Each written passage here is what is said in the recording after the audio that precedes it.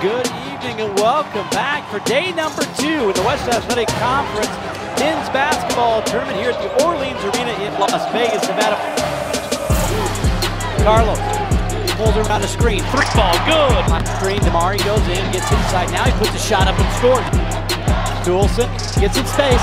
Swatted. Four-point lead, 19-15. Carlos had the shot, gives it over to Ali. Ali fires a three and hits it. Has. Backdoor cut. Finke goes strong and scores it. Tim Finke back to Jackson. Baseline jumper, good. The ball into Oscar. Jumper, good. Rebounded by Carlos Johnson. Carlos spins, shoots.